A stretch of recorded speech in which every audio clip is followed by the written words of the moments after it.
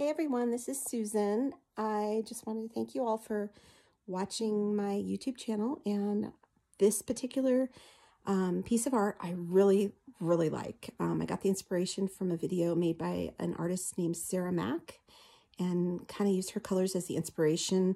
They're not the exact same colors, but I tried to match a similar shade and um, and also the style of uh, pour.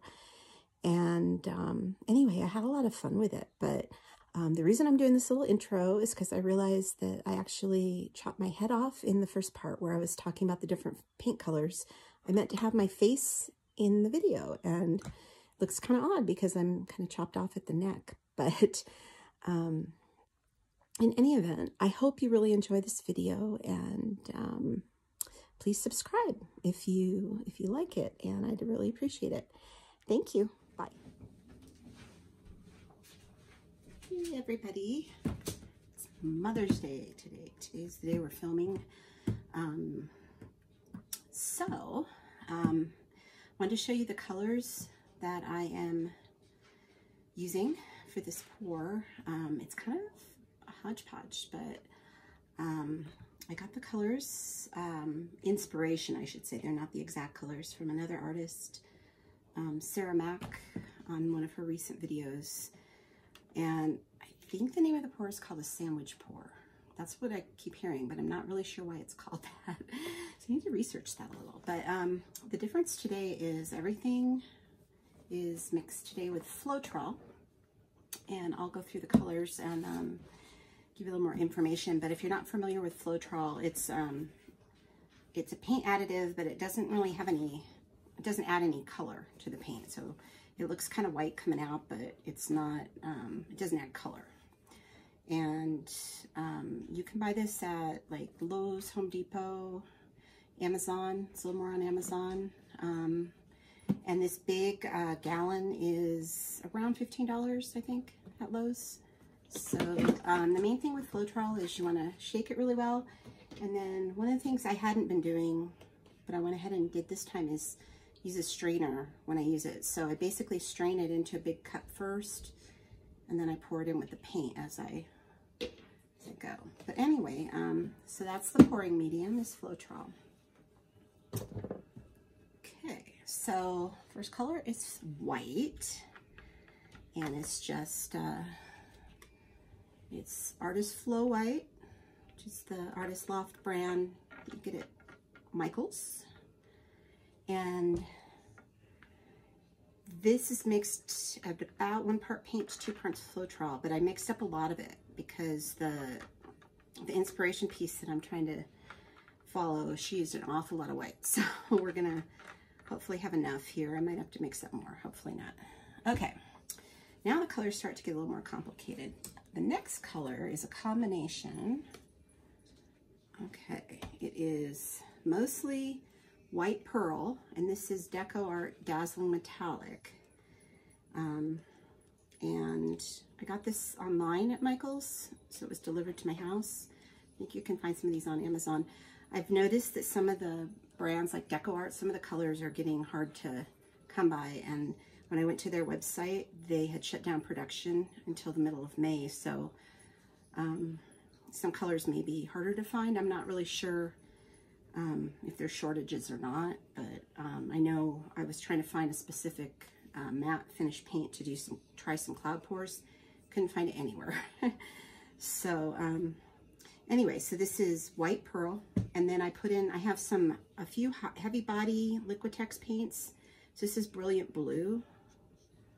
And you can see it's kind of got, I don't know if you can see it, but it's kind of got like a pearly, pearly blue. I was going for a little bit lighter blue, but um, I really like the way this came out. So I left it. Okay. So as I go through the colors, I'm going to move them.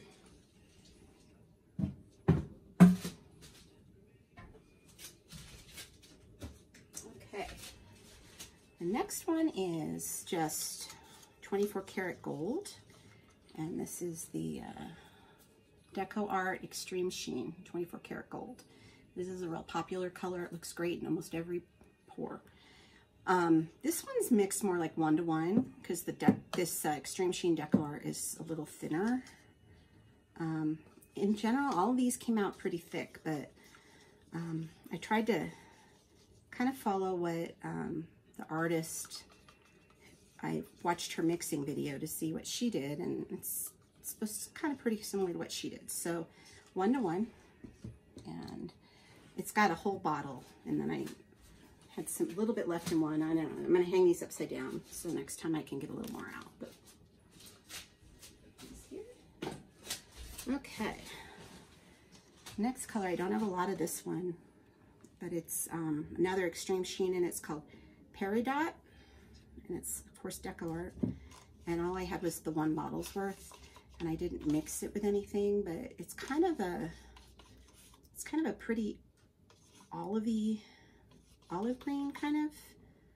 Um, so kind of like that.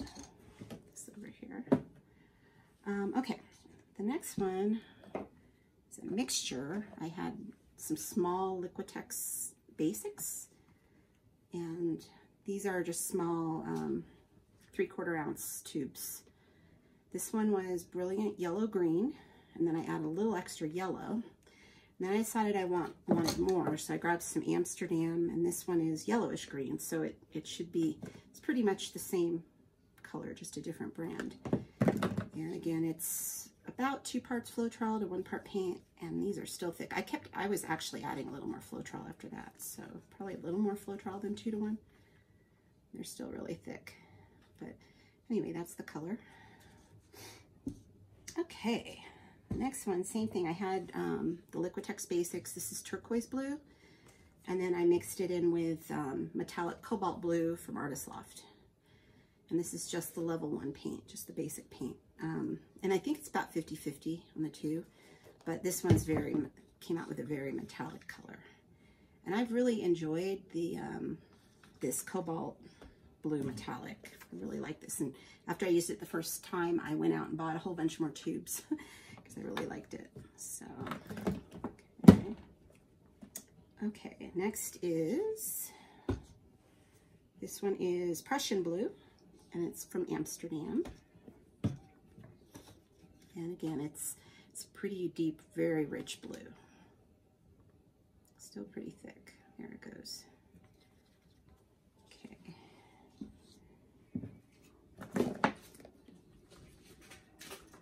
And then I did Payne's Gray.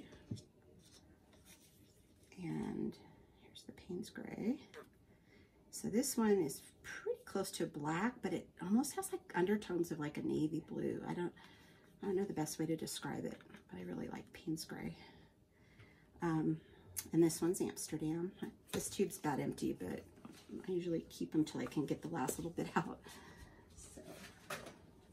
Also to remind me that I did have the color, and then if I can't find another tube of it, then I kind of know what to order. Okay, the last one is, needed a little bit of a lighter blue, so I went with light blue from Liquitex Basic, Liquitex Basics, and then I added in some Artist Loft light blue. So just two brands of light blue. Still pretty thick, but again, it's about two to one, maybe a little extra of the Floetrol. Okay, I'm gonna go get everything else ready and pick out a canvas and uh, organize a little bit and I will be right back. Okay guys, I'm back. Um, this, I got out this really big canvas because I was gonna get really um, brave, I guess. I bought this, this is like one of the very first canvases I ever bought when I started doing this last November and Never opened it. It's an 18 by 24. And it's a level one canvas, so it's not like the top of the line one, but it's a little nicer than the multi-pack ones, I think. Anyway, now that I'm looking at it, I just think it's a little too big for me right now. So I'm gonna grab one that's just a little smaller. I'm gonna put this one back. And, um, wrap it. This is from one of the multi-packs.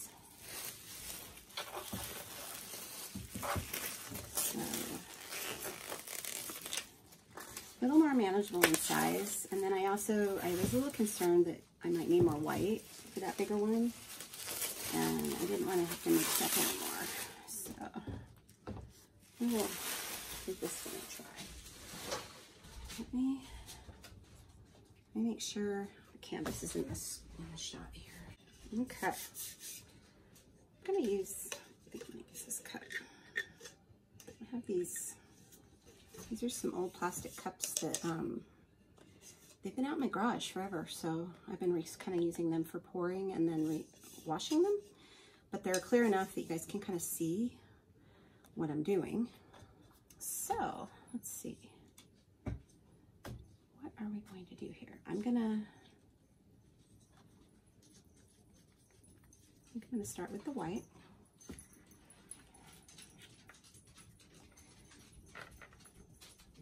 And the thing with this one is the white layers are really thick compared to the other layers.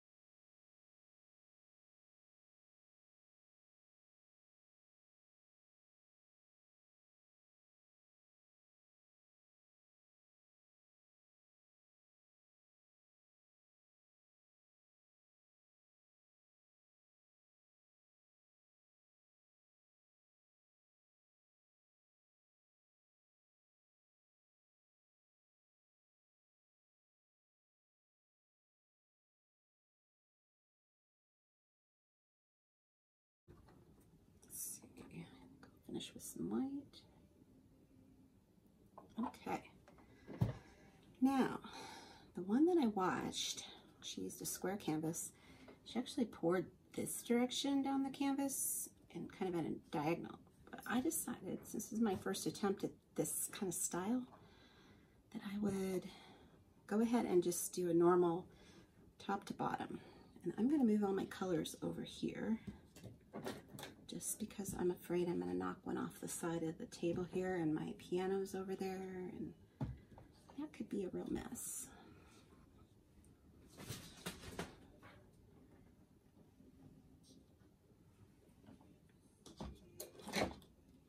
Doesn't mean I won't spill them over here, but at least if I do, hopefully it won't be quite as bad. Okay. And check the frame. I'm going to slide this over. Now, what I think was she had, she had the top raised up slightly. So let me do that.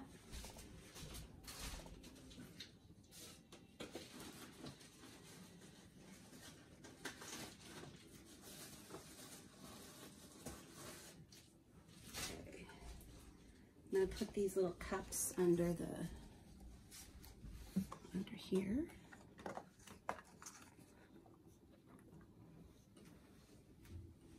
Okay. I'm really nervous about this one. Let's see what happens here. Um, okay.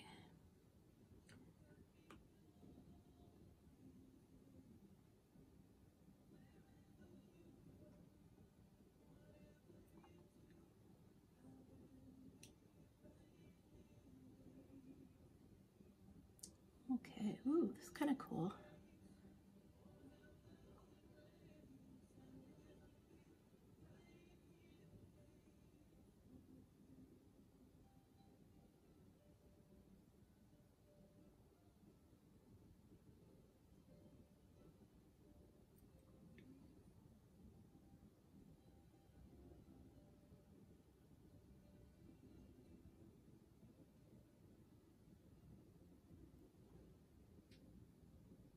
Ooh. There's that bright green. That's pretty cool.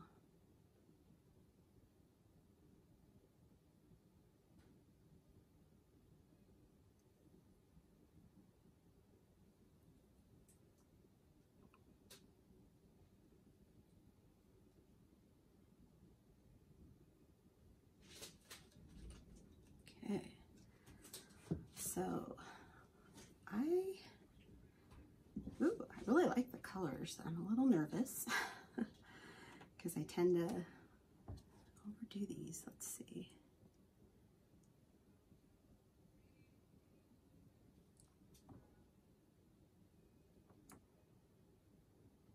I'm just gonna go gently back and forth.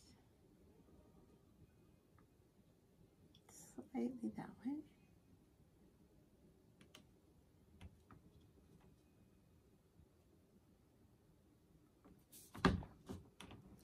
I'm gonna do this.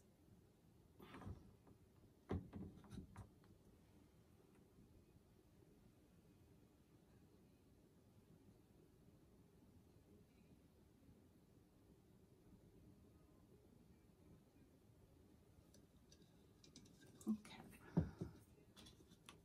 And just keep in mind, I didn't use any silicone in this, but the paints are also a lot thicker than I usually use. Just the mix is a little thicker, I should say. Because usually when I add Floetrol, I also add some water, but these don't have any water in them.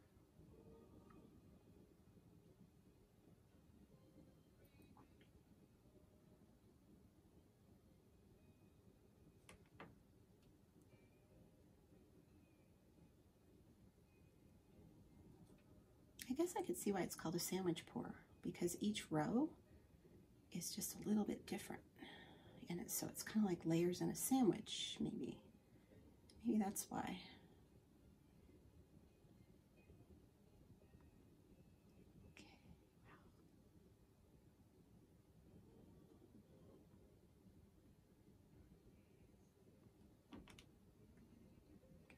This way.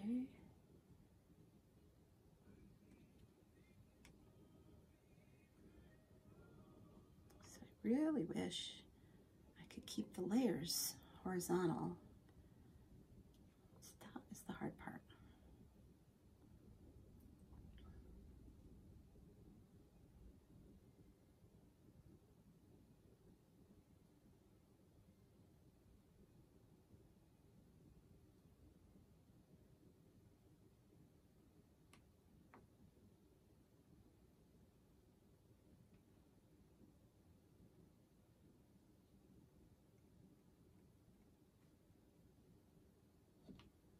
Wow, okay.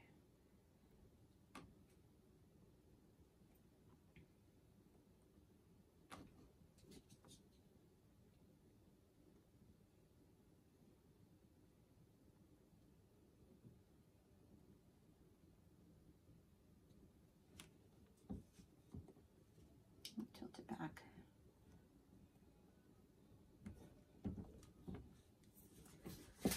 Okay, let's it. Okay.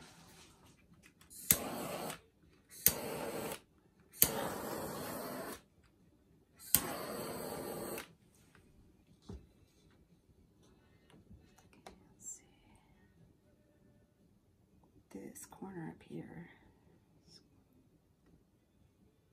Okay, I'm going to add some.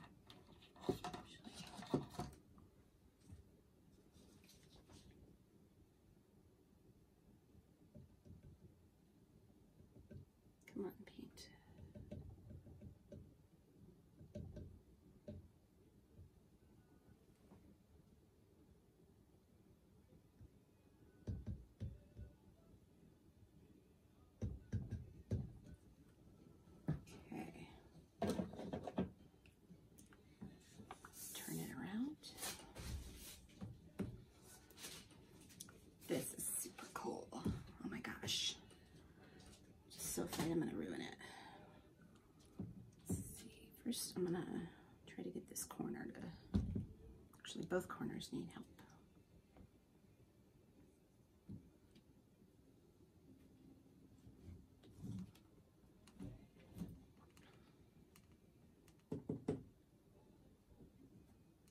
I am just blown away with how cool this is, but I'm so afraid I'm gonna lose it. Okay, here's what I'm gonna do. I'm gonna remove these cups. Okay, there we go. Okay, it's getting slippery. Okay, and I forgot to put my apron on. Reuse. I'm gonna add some white down here. See about making this move. Okay.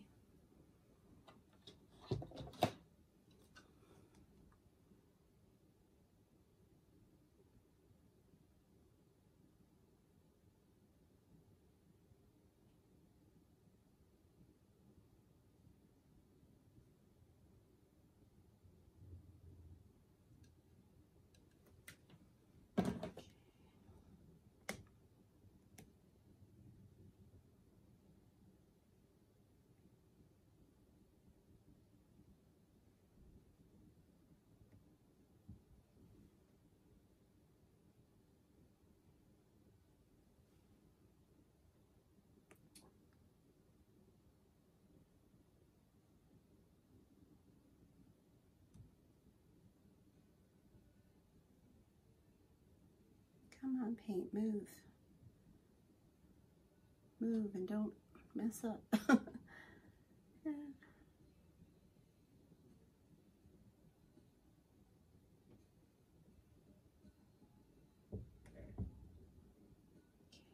I'm gonna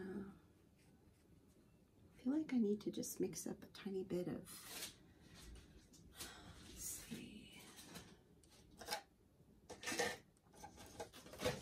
Just gonna mix up just a little bit of a few of the colors to see if I can get something going down at the bottom there.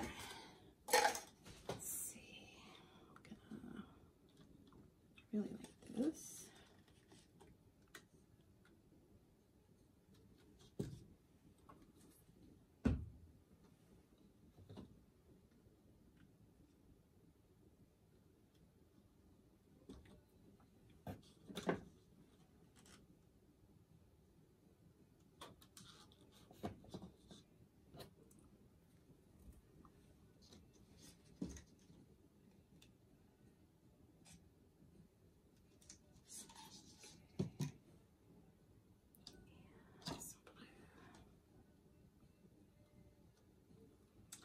Um, just gonna put a white.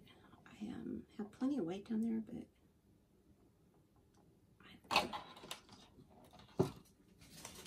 okay, let's see.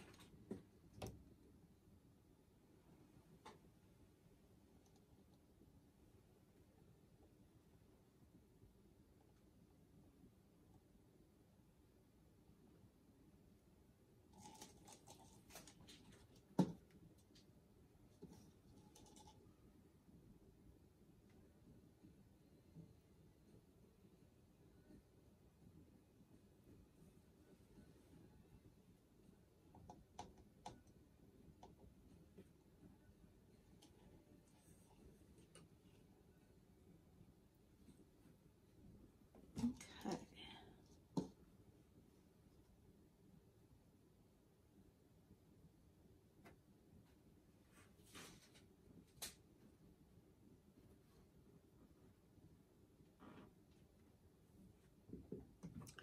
Okay.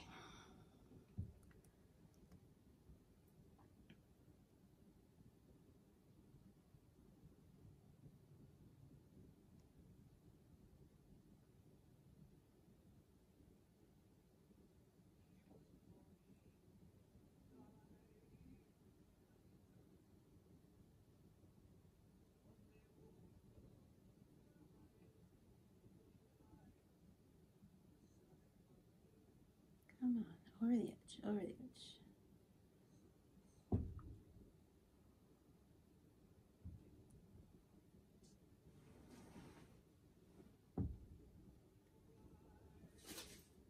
Ah, still got some spots here.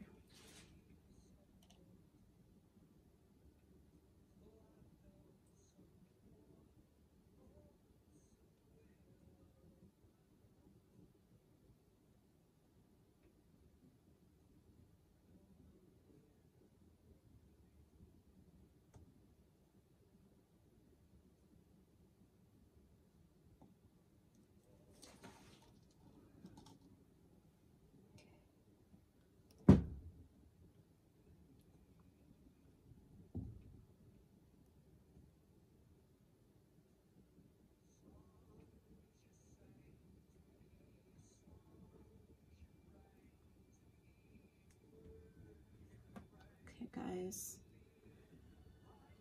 We are so close. Come on.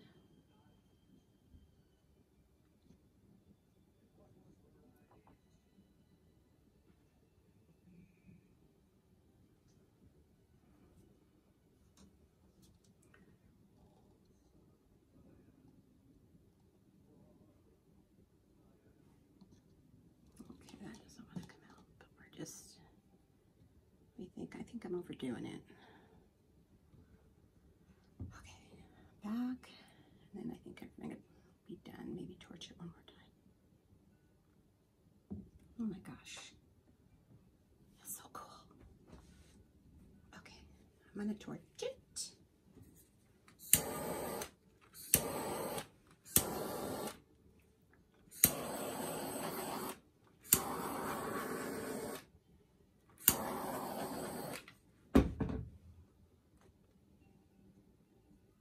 I'll go this way just slightly just because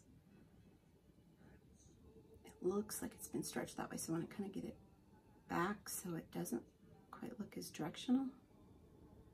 Okay. Ooh, I really like it. Okay. Oh my gosh. Wow. Okay. I'm going to do another one of these. Check it out. Isn't this cool? This is a sandwich pour.